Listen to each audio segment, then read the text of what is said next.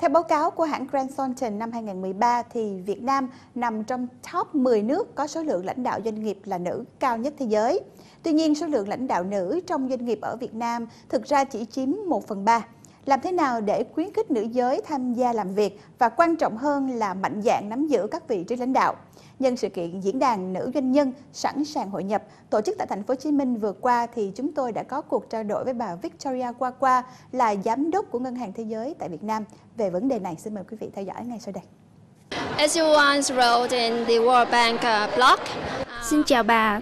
Theo một bài viết của bà đăng trên blog của Ngân hàng Thế giới, bà có nhắc đến con số 30% lãnh đạo doanh nghiệp Việt Nam là nữ, trong khi mức trung bình của thế giới là 19%. Vậy đây có phải là tín hiệu đáng mừng cho Việt Nam hay không? Có nhiều lãnh đạo nữ sẽ có lợi như thế nào cho sự phát triển của Việt Nam thưa bà? Ngân hàng Thế giới không thống kê dữ liệu về lãnh đạo nữ. Chắc bạn đang nhắc tới thống kê của hãng Grant Thornton công bố hồi năm ngoái.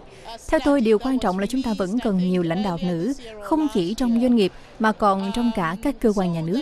Trong tất cả các tổ chức đều cần thêm lãnh đạo nữ.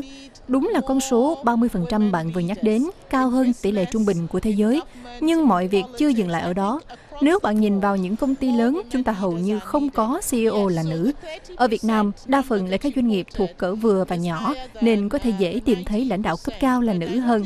Nhưng các bạn phải làm nhiều hơn nữa. Các bạn cần tăng thêm số lượng nữ lãnh đạo trong doanh nghiệp, giúp họ phát triển doanh nghiệp của mình. Và phụ nữ cũng có thể hướng dẫn, đào tạo những phụ nữ khác để họ tiếp tục đóng góp cho quốc gia. Các nữ lãnh đạo mang lại một cách tiếp cận và góc nhìn khác trong kinh doanh. Có thêm nhiều cách tiếp cận đa dạng thì tốt hơn là chỉ giới hạn trong một số lối suy nghĩ nhất định. Mang lại sự đa dạng trong công tác lãnh đạo, mang lại nhiều lợi ích cho đất nước. By the end of uh, 2013, the Ministry of Labor released the list of Cuối năm 2013, Bộ Lao động có ra danh sách 77 công việc không được sử dụng lao động nữ. Lựa chọn nghề nghiệp cho nữ giới đã phần nào hạn chế hơn nam giới rồi. Vậy theo bà thì việc làm này có xâm phạm đến quyền lao động của nữ giới hay không? Hay chỉ đơn thuần là một cách để Bộ Lao động bảo vệ sức khỏe của lao động nữ?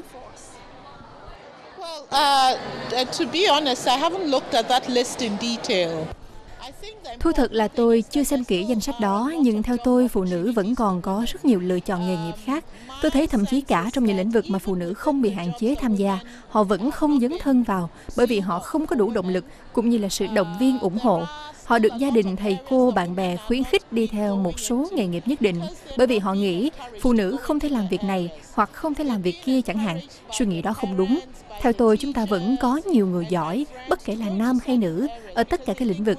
Thử thách không phải là cái danh sách đó, mà hãy tập trung vào những lĩnh vực mà phụ nữ có thể thành công nhưng vẫn chưa thực sự xâm nhập, rồi tìm hiểu lý do là vì đâu, từ đó khuyến khích nữ giới tham gia nhiều hơn vào các ngành đó. Vậy thì danh sách này cũng chẳng còn là vấn đề nghiêm trọng nữa. Tôi tin là Bộ Lao động cũng chỉ muốn bảo vệ nữ giới, giúp họ có môi trường làm việc an toàn hơn cho sức khỏe. Theo ý kiến của tôi, chúng ta có thể xem lại trong danh sách đó những loại công việc nào mà ở các nước khác đã chứng minh nữ giới có thể làm việc được trong điều kiện an toàn.